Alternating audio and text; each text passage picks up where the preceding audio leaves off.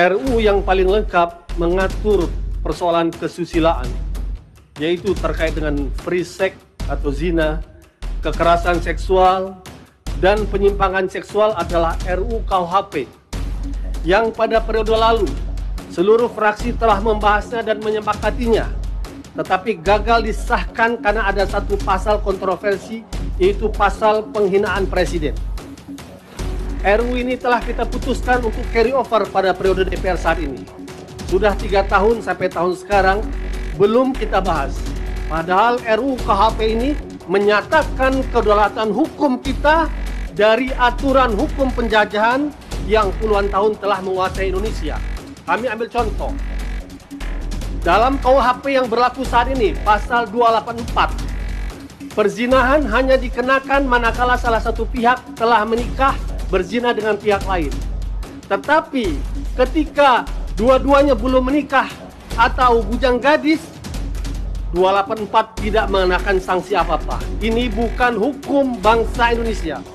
Kedua, pasal KUHP 292 membolehkan hubungan sejenis sesama dewasa yang dihukum hanya terhadap anak-anak. RUU TPKS yang baru kita sahkan tadi, yang kita semua sepakat untuk menghukum sekeras-kerasnya para penjahat kejahatan seksual. Tetapi RUU TPKS sama sekali tidak merubah, tidak berbicara pasal 284, pasal 292 tersebut. Putusan MK 2017 terkait dengan pasal dimaksud dari sembilan hakim MK, empat hakim MK setuju bahwa mana zina 284 dan makna hubungan sejenis 292 harus dirubah dengan hukum yang berlaku di Indonesia. Lima hakim MK tidak menolak, menyerahkan kepada DPR untuk merubah pasal tersebut. Kita sebagai anggota Dewan yang memiliki kewenangan pembentukan perundang-undangnya seharusnya lah menjadikan undang-undang itu sebagai social engineering apa yang disebut Presiden Soekarno untuk mengabalikan jati diri bangsa berkepribadian dengan dalam kebudayaan bangsa Indonesia sendiri. Oleh karena itu, RUU KHP seharusnya bisa berbarengan kita dengan RUU TPS kita sahkan. Karena kalau tidak, RUU TPKS bisa bermakna sebagian saja. Kekerasan seksual kita tuntut, tetapi ketika tidak ada kekerasan seksual, tidak ada hukum yang bisa menghukumnya saat ini. Saat inilah pimpinan yang saya muliakan.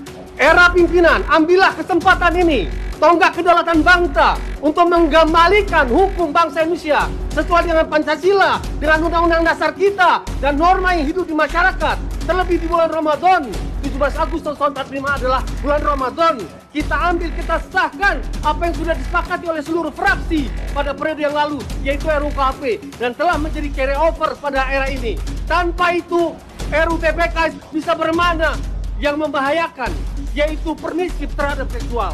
Mudah-mudahan Allah Subhanahu wa taala membukakan hati kita dengan berkah Ramadan ini untuk menghadirkan undang-undang terbaik untuk menyelamatkan bangsa dan negara kita. Allahu Akbar, merdeka. Assalamualaikum warahmatullahi wabarakatuh.